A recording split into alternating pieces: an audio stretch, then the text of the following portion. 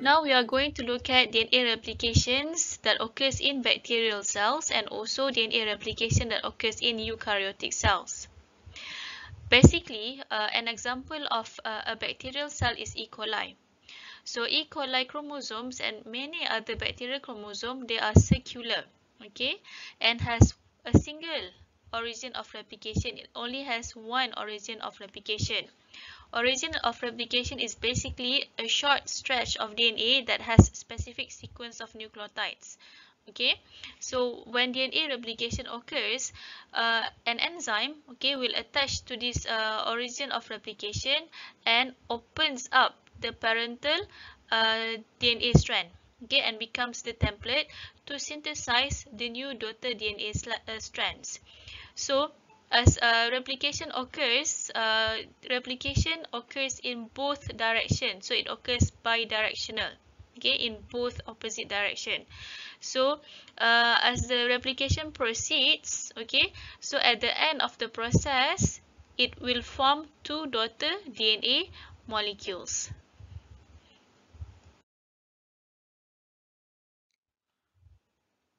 For eukaryotic cells, because eukaryotic cells is much more complex compared to prokaryotic cells, uh, this is due to the amount of uh, DNA in the eukaryotic cells is much larger compared to prokaryotic cells. Eukaryotic chromosome will have hundreds to a few thousands uh, origin of replication. So basically, it is the same. The DNA replication uh, in eukaryote also occurs at the origin of replication.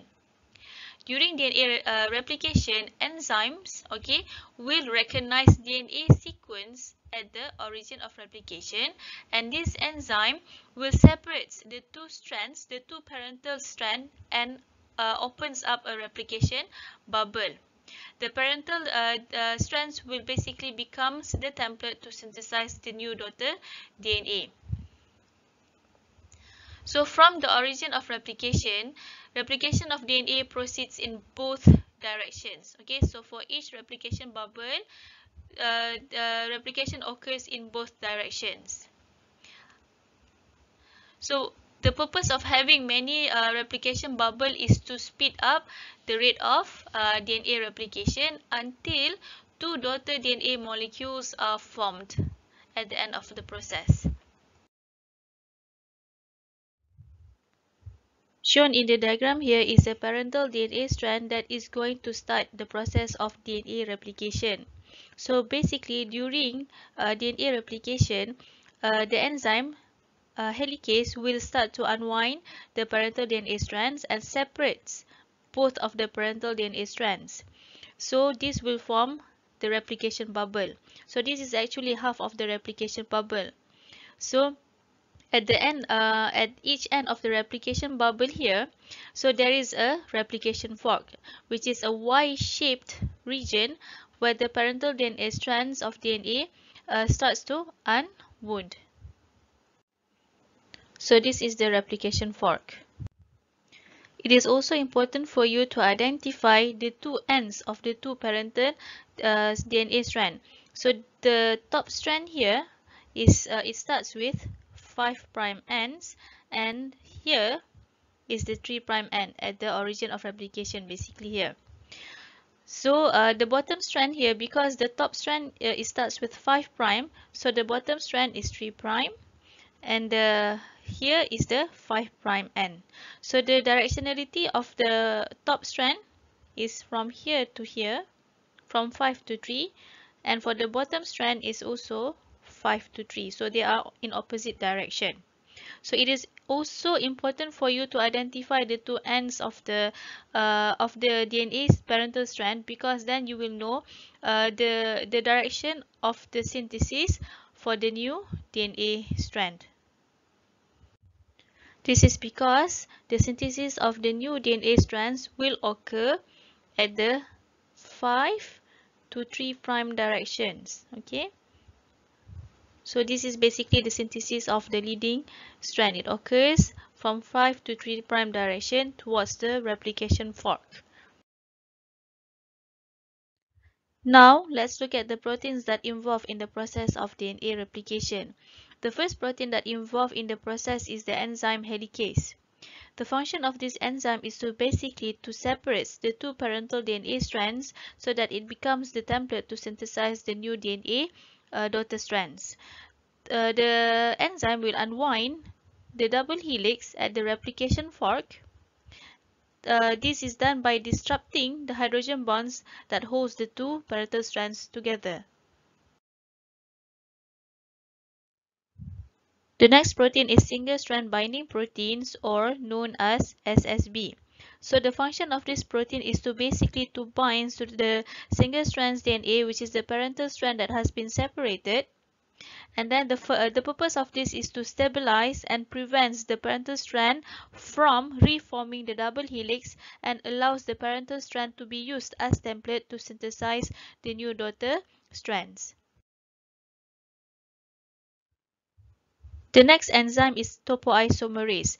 The function of this enzyme is to prevent excessive coiling by relieving overwinding strain ahead of the replication fork by breaking, swiveling, and rejoining DNA strands.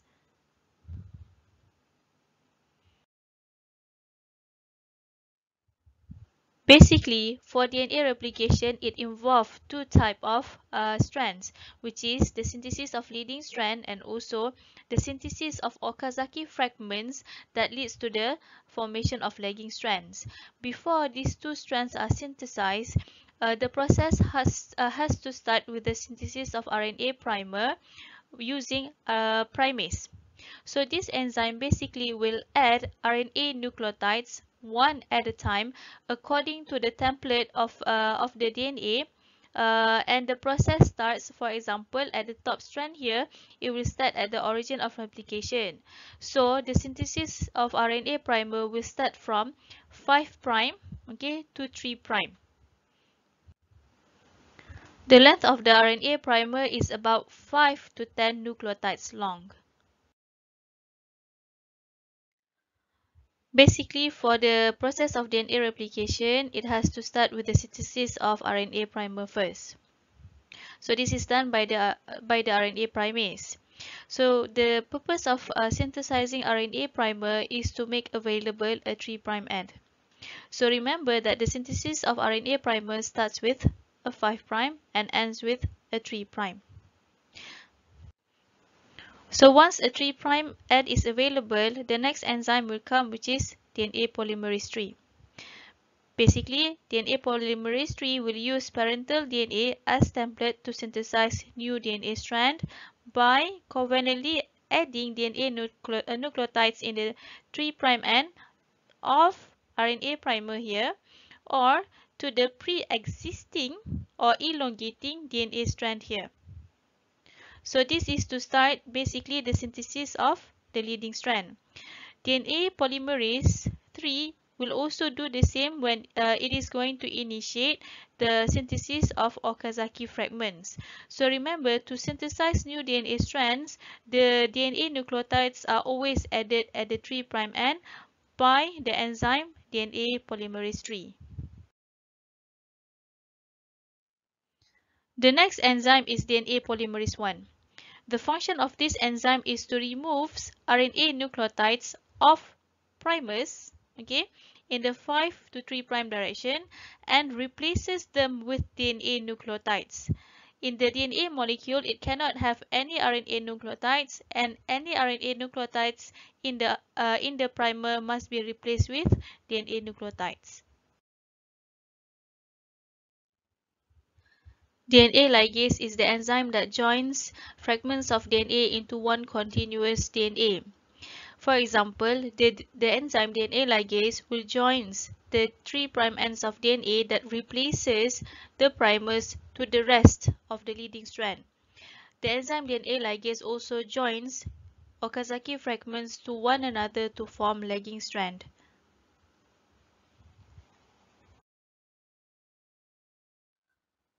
To synthesize a new DNA strands, the process requires number one, DNA polymerases. However, this enzyme cannot initiate the synthesis of a polynucleotide. DNA polymerases catalyzes the synthesis of, the, uh, of new DNA by adding nucleotides to the existing 3' end of a primer or the 3' end of growing DNA strand and never to the 5' end. Thus, a new DNA strand elongates only in the 5 to 3' direction. For example, this is a new DNA strand. This is uh, the 5' end. This is the 3' end. The enzyme DNA polymerases only adds new nucleotides at the 3' end of the strand.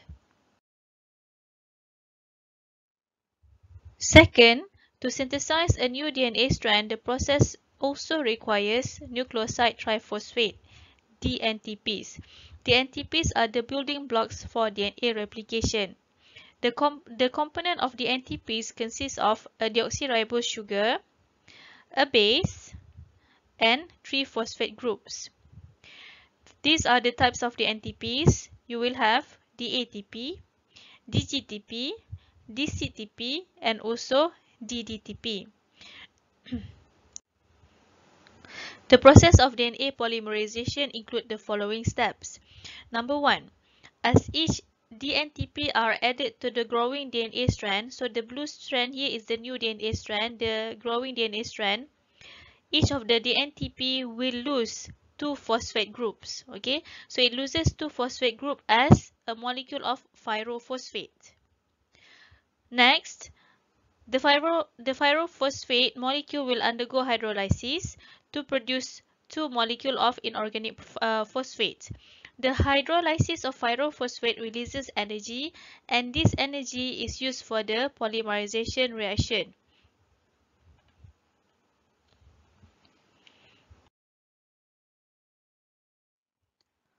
The synthesis of new DNA molecules during DNA replication involve the synthesis of leading strands and also the synthesis of lagging strands. For the synthesis of the leading strand, it occurs from the origin of replications towards the replication forks. The synthesis occurs in the 5 to 3' direction.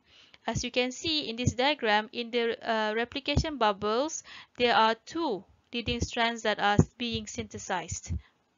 For the synthesis of the lagging strands, it occurs from the replication forks towards the origin of replication.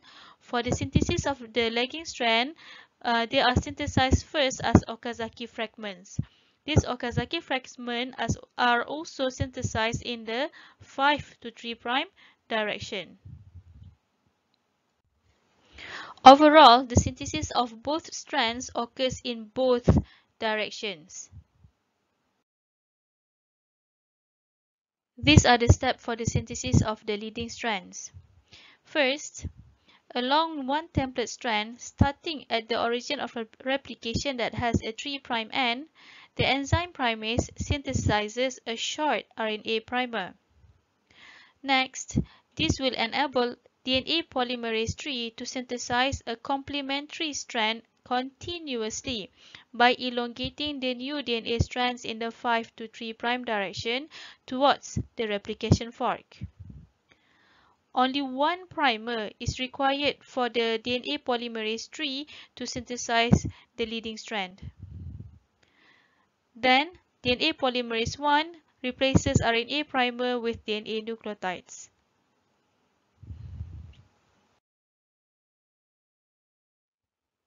Next is the synthesis of the lagging strand.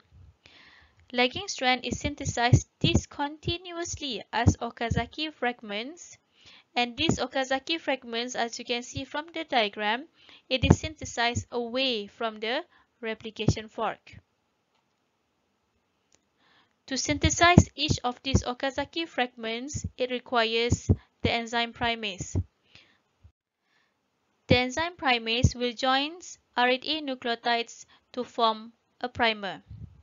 Once RNA primer are synthesized, next DNA polymerase III will add DNA nucleotides to the primer.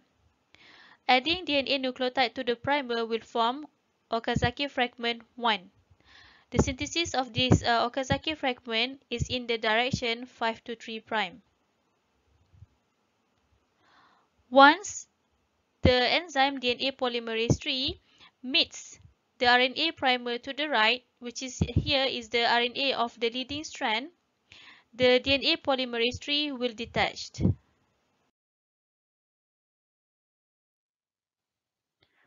After the first Okazaki fragment has been synthesized, the synthesis of the Okazaki fragment 2 will be synthesized involving the synthesis of the RNA primer first. After the primer has been synthesized, then only DNA polymerase 3 can add DNA nucleotides to the 3' end of the RNA primer. The DNA polymerase 3 will keep on adding DNA nucleotides until it reaches the primer of the first Okazaki fragment.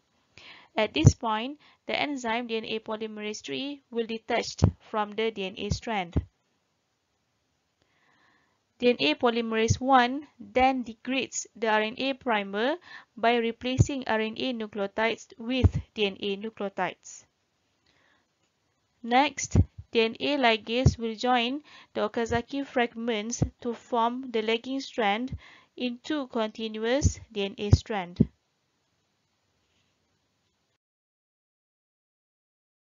Now, let's summarize the process of DNA replication by looking at the role of every uh, enzymes and protein that involved in the process. Firstly, the enzyme helicase will unwind the parental double helix by breaking the hydrogen bonds holding the two parental strands together. Second, single-strand binding proteins stabilizes the unwound parental DNA and preventing the parental DNA from reforming the double helix.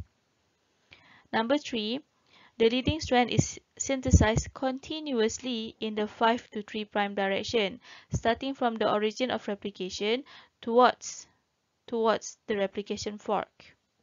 The elongation of the leading strand is done by DNA polymerase 3, where the enzyme will add DNA nucleotides at the 3' end of the elongating leading strand.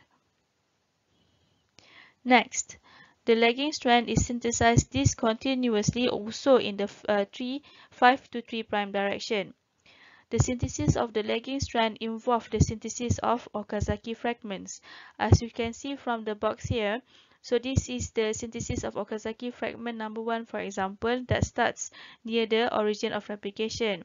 And then as the replication fork progresses, it's, uh, it starts to synthesize the next Okazaki fragment. So Okazaki fragment number two, Okazaki fragment number three.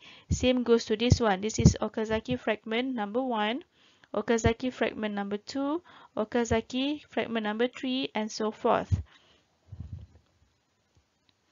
Next, for every Okazaki fragment synthesized, it is uh, synthesized first uh, by the synthesis of RNA primer using primase. After RNA primer has been synthesized, it is then extended using DNA polymerase 3. Next, DNA polymerase 1 will replace the RNA nucleotides with DNA nucleotides. After that, the enzyme DNA ligase will join Okazaki fragments into continuous lagging strand.